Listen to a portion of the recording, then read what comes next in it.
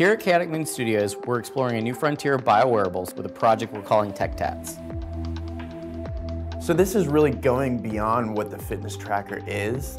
And we're right now looking into the medical field specifically because there's a lot of monitoring devices that take up a lot of room and space. So rather than going to the doctor once a year to get your physical, this tech tattoo could be something that you just put on your body once a year and it monitors everything that they would do in a physical and sends that to your doctor. And if there's an issue, they could call you.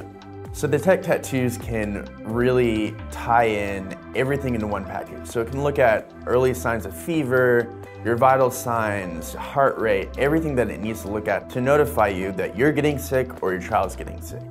So another beautiful thing that Tech Tattoo kind of takes over and disrupts the market is in the banking industry.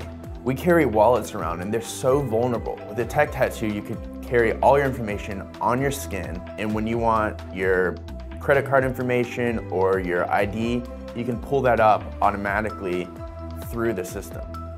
So the great thing about this idea is that it not only serves a really awesome purpose, but it can also be really aesthetically fun.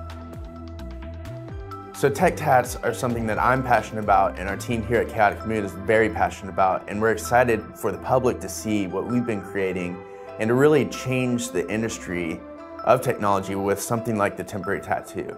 And Chaotic Moon is excited to bring it to you in the near future.